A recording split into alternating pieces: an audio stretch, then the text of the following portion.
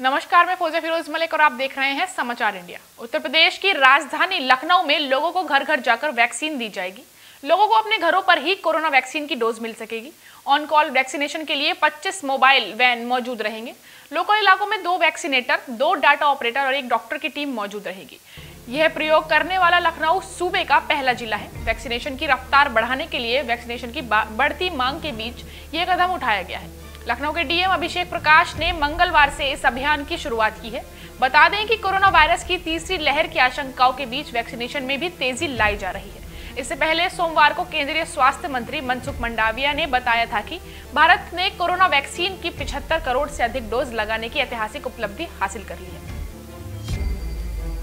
देश में कोरोना के मामले थोड़े कम होने शुरू हो गए हैं। जो मामले पहले चालीस हज़ार से ऊपर चल रहे थे, अब उनका ग्राफ तीस हज़ार से नीचे आने लगा है। लेकिन हैरानी की बात यह है कि केरल में कोरोना मीटर अभी भी फुल स्पीड में दौड़ रहा है।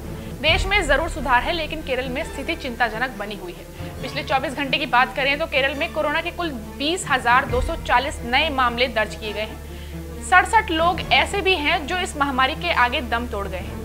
इसके अलावा उनतीस लोगों ने कोरोना पर जीत भी दर्ज की है।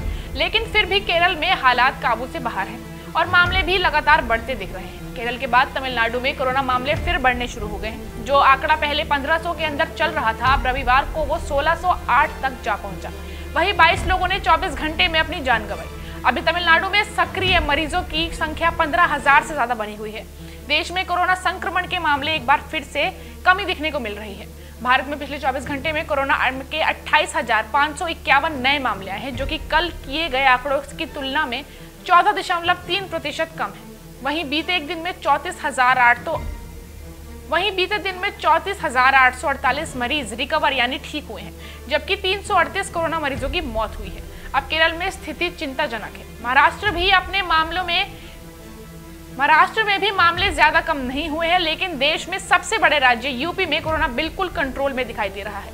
अब राज्य में चौतीस ज़िले पूरी तरह से कोरोना मुक्त बताए जा रहे हैं। वहीं पिछले 24 घंटों में मात्र 21 नए मरीज़ सामने आए हैं। ऐसे में रिकवरी रेट भी शानदार चल रहा है और संक्रमण दर भी काबू में है। यूपी से आगे चले तो दिल्ली में भी कोरोना ग्राफ नीचे आया है। पिछले 24 घंटे में राजधानी में कोरोना के 22 नए मामले सामने आए हैं। वहीं किसी ने भी अभी तक अपनी जान नहीं गंवाई। इस रिपोर्ट में बस इतना ही। देश और दुनिया से जुड़ी तमाम खबरों के लिए देखते रहिए समाचार इंडिया। नमस्कार।